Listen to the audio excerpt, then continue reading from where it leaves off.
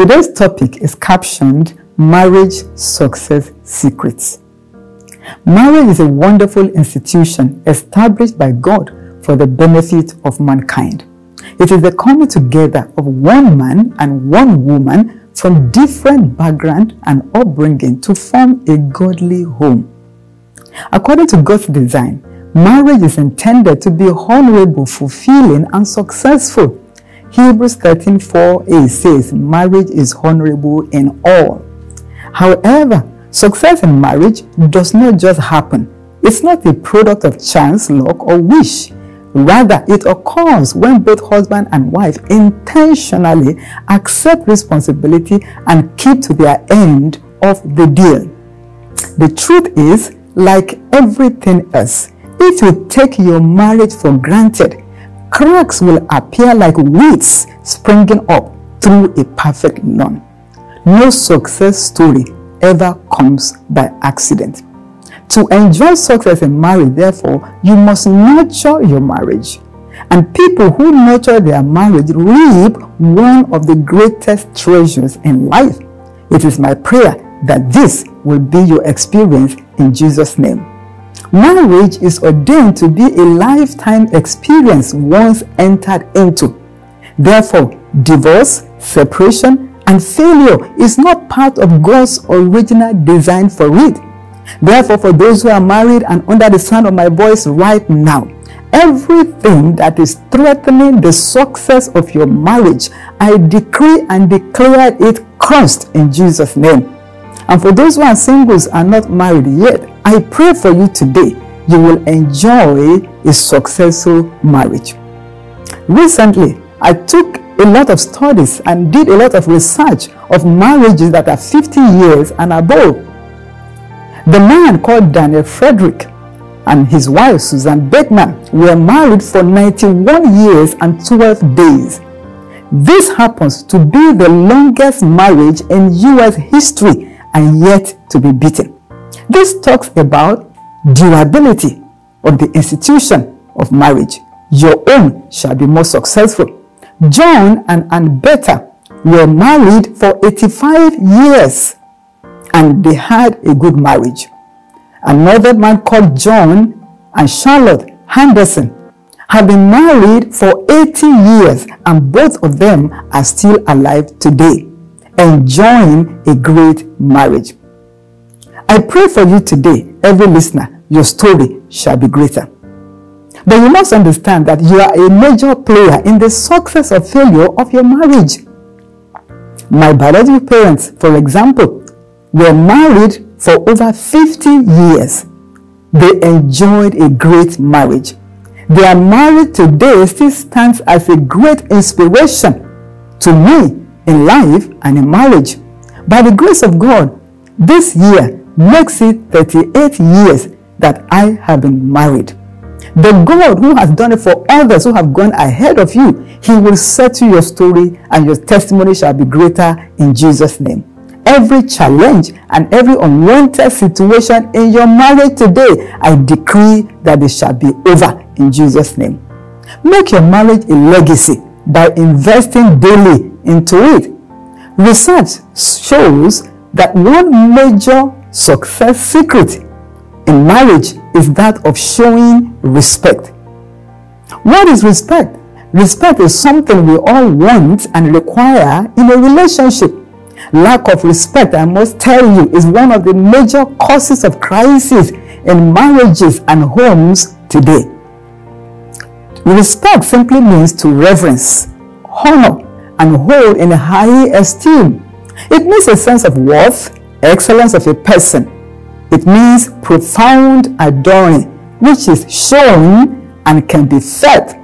In other words, wherever there is respect, it cannot be hidden. It means a place of great value or high price on something.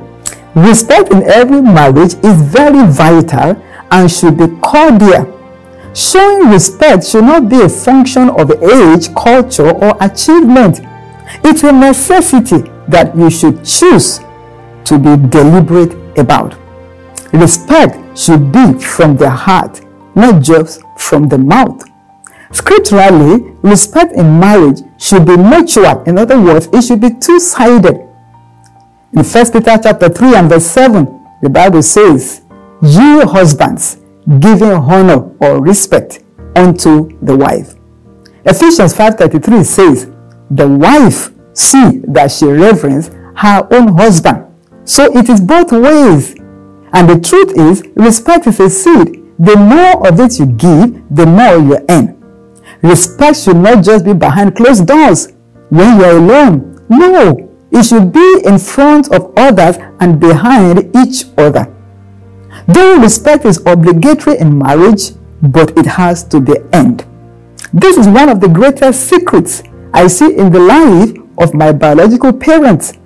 I never saw my parents had crisis in their marriage, but I see them give respect to each other. Respect is two-dimensional. And I want you to understand this.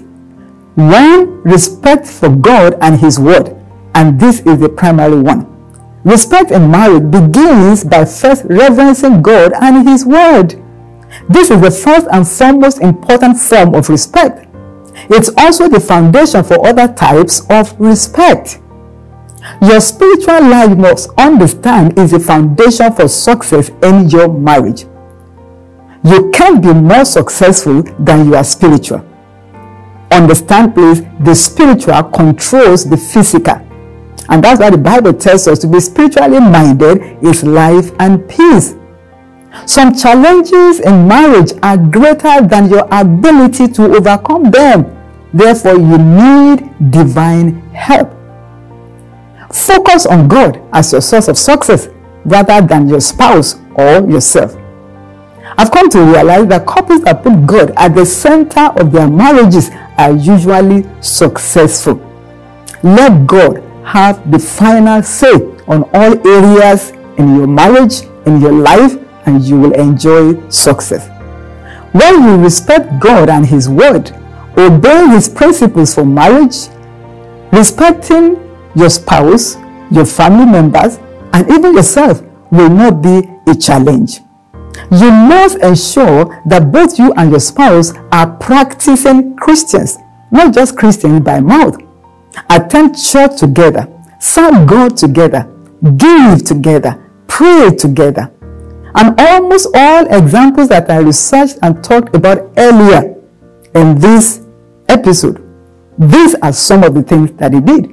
I also see all this in the life of my biological parents. This also is helping my own marriage today a great deal. You will enjoy divine help in Jesus' name. And secondly, is respect one for another. Husband and wife, couples, respect each other's vision, mission, calling, and assignment. This helps you appreciate your God given potentials. It helps you to value each other and accept the differences and uniqueness in your spouse when you respect someone, you value their role in the relationship and go out of your way to learn and study how to please and serve them better. For example, if you receive a special guest in your home, maybe the senior pastor of your church or the president of your nation, imagine the kind of respect you will give to them. It's the same thing with your spouse because that is what the Word of God says. And even when children come along and you start having children, don't contradict each other before your children as husband and wife. In a marriage, what does respect mean to a husband? And I want wives to listen very well. No man or husband wants a disrespectful wife. So respect the authority of your husband as the head of the home. Respect his knowledge, opinion, and decisions. Respect his ability and appreciate those unique qualities that are in him. Respect him in public and in private. This will go a long way in determining how others see him. If you respect him, then others will do the same thing. To a wife, what does respect mean? And husbands, listen very carefully. To wife, respect, among other things, mean loving and cherishing your wife. Husbands, please understand, your wife does not have to be a supermodel to receive regular, sincere compliments from you. Take the lead, husbands, by prayerfully making wise decisions that will lead your family members to please God. See and treat your wife as your partner in the journey of life, not as a property. Don't treat her as a slave. Don't treat her as a subordinate or a weakling. This will not help your marriage. Show unwavering commitment to your marital vows. How do you show respect to your spouse? Three main ways you do that. In your thought, Proverbs 23 7 says, For as he thinketh in his heart, so is he. Respect begins from your thought towards your spouse. Out of the abundance of the heart, the mouth speaks and the body acts. So when your heart honors and respects your spouse, your actions will align as well as your words. If you think evil, bitterness, malice, negative thoughts towards your spouse, it will one day manifest in the open. Married men and women, if your spouse happens to see the thoughts of your heart about him or her right now, how would he or she feel? A word is enough for the wise. Second way you do this is in your words. Colossians 4 6 says, Let your speech be always with grace, seasoned with salt. So, husband and wife respect each other by avoiding the use of foul languages. Don't use derogatory statements with your spouse. It can easily destroy. Communicate in love. Use sound reasoning instead of nagging. Show respect in your communication don't shout or belittle your spouse with your words. Your words should be seasoned with salt and edifying. Encourage, appreciate your spouse, and show kind gesture to him or her. When our children were young and were all at home, I made them do things as simple as when their school fees are paid, I made them go to their father and appreciate him for paying their fees. Words are like eggs, and once broken can never be gathered. And words once spoken or written, it can shatter. At the same time, when words are well spoken, it can mend, nurture a relationship. I pray for you today that every word that comes out of your mouth from this day forward shall be a blessing. Learn to think before you speak Consider what to say, when to say it, and the tone to use. And beware of pride and anger. It destroys. Take caution. And third way, finally, by which you do this is in your actions.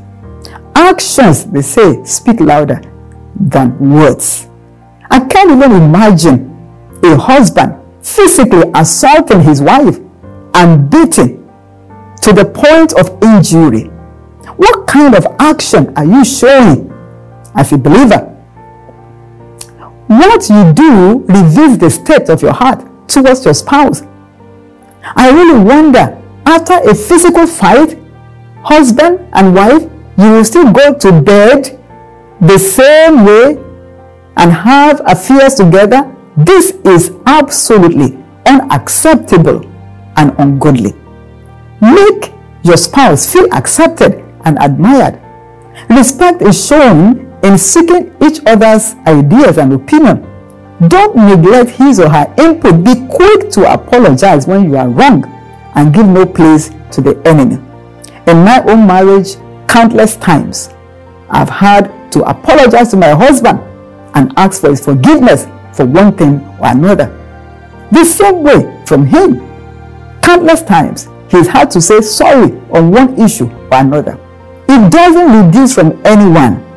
Learn to obey God's word. The key is giving just a little extra every day, as often as possible, for as long as you both shall live, will help your marriage. Give nice gestures. And giving of gifts will go a long way in strengthening the success of your marriage. In action, respect each other's boundaries. Don't take your spouse's personality for granted, thereby overstepping your bounds.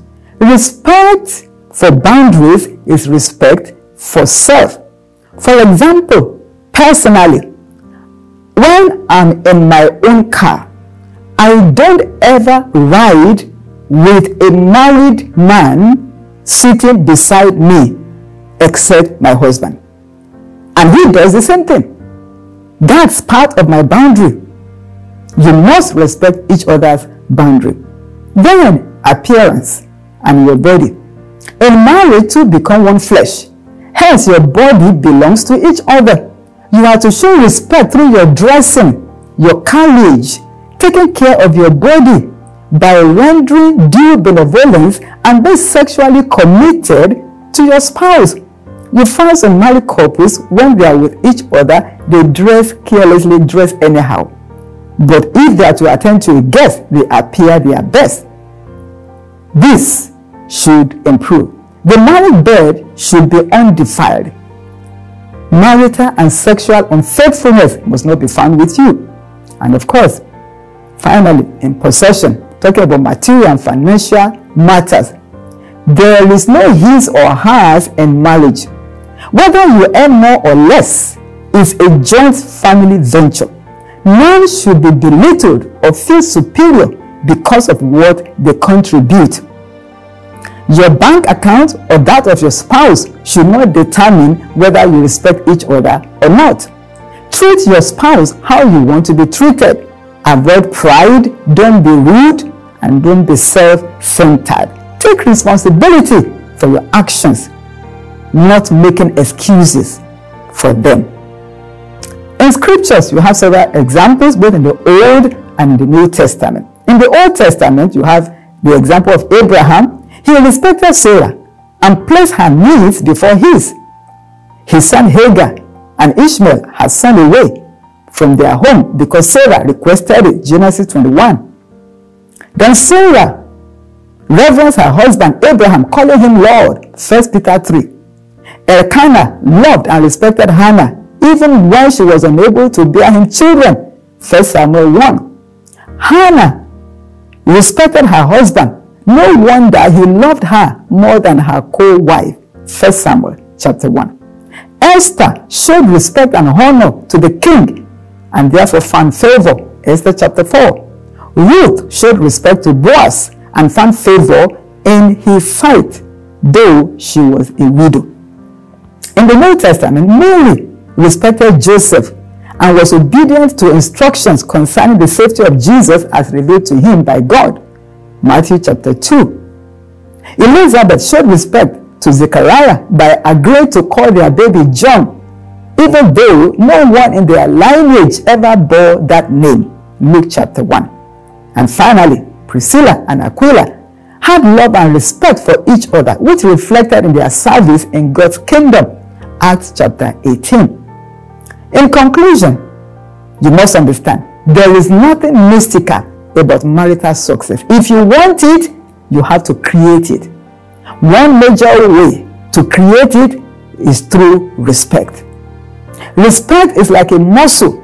If you keep working it, it will become stronger every time you manifest it. Couples outline areas of possible disrespect in your marriage and begin to consciously work on them. As you do your part, you enjoy divine help. Learn to enjoy each other's differences and allow for change and growth in your spouse. Understand that your spouse isn't perfect, but together you can work towards making your relationship perfect. Therefore, today, as I close, I decree and declare the blessings of God upon your marriage for those of you who are married. And I pray that every challenge in your home will receive divine solution from today in Jesus' name. I cause the spirit of pride in every home and I decree the blessings of God. For the singles that are not married yet, grace to live a life of respect. After you get into marriage, receive it in Jesus' name. As I close, today is the day of salvation. You want to accept Jesus Christ as your Lord and Savior and be born again? Because that's the foundation. Pray this prayer with me from your heart. Say after me, Oh God, I'm a sinner. I repent of my sins now. Forgive and save me. In Jesus' name. Amen. Congratulations. If you pray that prayer from your heart, you are born again. Log on to the website address shown at the bottom of your screen and fill in the salvation form. You can also send your testimonies through the same medium and connect with social media handles at the bottom of your screen. Always remember, God is too faithful to fail. See you next time. Bye.